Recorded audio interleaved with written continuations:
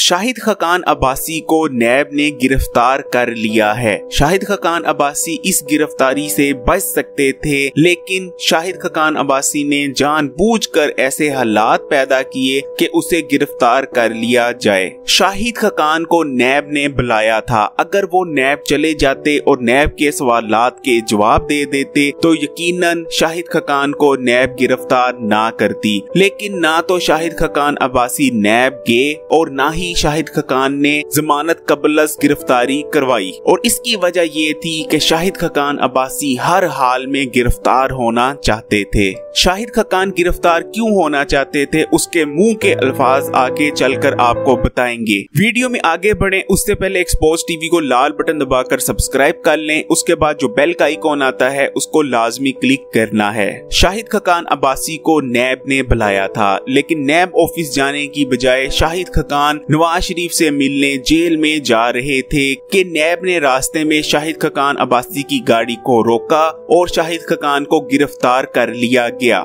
شاہد خقان نواز شریف سے بہت ضروری بات کرنے جا رہے تھے۔ دوستو، سب سے پہلے آپ کو وہ راز کی بات بتاتے ہیں جو شاہد خقان عباسی نواز شریف سے کرنے والے تھے۔ شاہد خقان نواز شریف سے جیل میں مل کر کہنے والے تھے۔ مریم نواز نے پہلے رانا ثنا اللہ کو بکرا بنایا۔ مریم نواز نے خود مخبری کر کے رانا ثنا اللہ کو پکڑوا دیا۔ اور اب مریم نواز مجھے بکرا بنا رہی ہے۔ لیکن میں رانا ثنا اللہ کی طرح کٹنے والا نہیں۔ شاہد خقان مزید نواز شریف سے کہنے والے تھے، مریم نواز نے اس پریس کانفرنس میں مجھے بٹھا کر اچھا نہیں کیا، جس پریس کانفرنس میں مریم نواز نے جج ارشد ملک کی ویڈیو دکھائی۔ اس پریس کانفرنس کے بعد نون لیگ اور حکومت کے درمیان جو ڈیل ہونے کے چانسز تھے، وہ بالکل ختم ہو چکے ہیں۔ اور اس دن کے بعد ایجنسیز ان تمام لوگوں کے پیچھے پڑ چکی ہیں جو جو اس پریس کانفرنس میں مریم مریم نواز شریف کے ساتھ بیٹھا تھا۔ مریم نواز ایک ڈکٹیٹر کی طرح نون لیگ کو چلا رہی ہے اور نون لیگ کی سینئر لیڈرشپ اور زیادہ مریم نواز کو برداشت نہیں کر سکتی۔ دوستو، یہ تمام باتیں کہنے جا رہے تھے شاہد خقان عباسی نواز شریف سے۔ ایک چیز باخوبی سمجھ لیجیے، نواز شریف کی پچھلی حکومت میں کہنے کو تو نواز شریف وزیر اعظم تھے، لیکن وزیر اعظم ہاؤس میں مریم نواز بیٹھ کر تمام تر وزیر اعظم کے اختیارات کو استعمال کر رہی تھی اور نواز شریف سے صرف کہنے کو وزیر اعظم تھے۔ اب مریم نواز کے دل میں یہ بات کھٹک رہی ہے کہ میں وزیر اعظم کے اختیارات تو استعمال کرتی رہی ہوں، لیکن میرے ساتھ پرائم منسٹر لگنا چاہیے اور یہی مریم نواز کی خواہش نون لیگ کو برباد کر رہی ہے۔ مریم نواز اپنے نام سے پہلے وزیر اعظم لگانا چاہتی ہے۔ مسلم لیگ نون کی تمام سینئر لیڈرشپ مریم نواز کی اس خواہش سے باخوبی واقف ہیں۔ لیکن مریم نواز اپنی اس خواہش کو پورا کرنے کے لیے جس طرح مسلم لیگ کو تحس نحس کر رہی ہے، تمام مسلم لیگ کی سینئر لیڈرشپ اس سے تنگ آ چکی ہے اور اب وہ کسی نہ کسی طرح مریم نواز سے فاصلہ اختیار کرنا چاہتے ہیں۔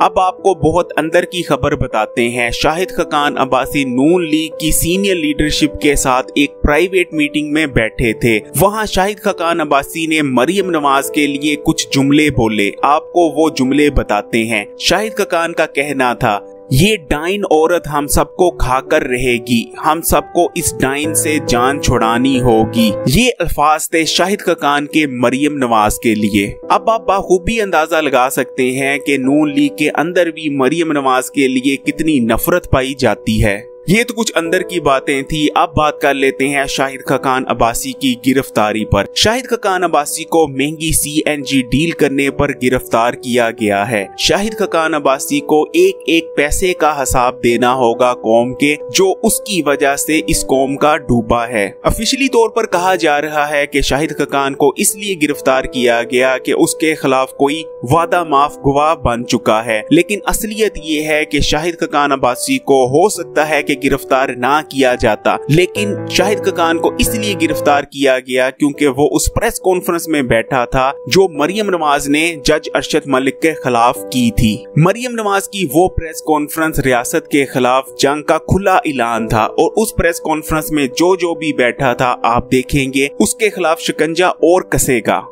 شاہد خکان کی گرفتاری تو سی این جی کیس کو لے کر کی گئی ہے، لیکن شاہد خکان سے یہ بھی پوچھا جائے گا کہ اس نے کس طرح پی آئی اے کو ڈبو کر ایئر بلو کو فائدہ پہنچایا۔ حرام کا پیسہ کمانے والوں اور ریاست کے غداروں کے خلاف جو مہم چلی ہے، وہ رکے گی نہیں۔ ابھی شاہد خکان عباسی اندر ہوا ہے۔ مفتہ اسماعیل کے وارن نکل چکے ہیں اور ان قریب آپ دیکھیں گے کہ پرویز کھٹک کو بھی گرفتار کر لیا جائے گا۔ یعنی یہ اتصاب صرف نون لیگ کا نہیں جو جو بھی کرپٹ ہے پاکستان میں، ان تمام کو جواب دینا پڑے گا۔ میں اب تمام لوگوں سے گزارش کروں گا، شاہد ککان عباسی نے مریم نواز کے لیے جو جملہ استعمال کیا یعنی یہ ڈائن ہم سب کو کھا جائے گی اور ہمیں اس ڈائن سے چھٹکارا پانا ہوگا۔ اس قسم کا جو جملہ استعمال کیا، آپ اس کے بارے میں کیا سوچتے ہیں؟ کمنٹ کر کے ضرور بتائیے گا۔ اور ایکسپوز ٹی وی کو اگر ابھی تک سبسکرائب نہیں کیا تو لال بٹن آ رہا ہوگا آپ کے سامنے، اس کو دبا کر ایکسپوز ٹی وی کو سبسکرائب بھی کر لیں۔ اس کے بعد ایک نوٹیفیکیشن یعنی بیل کا آئیکن آتا ہے، اس کو لازمی کلک کرنا ہے۔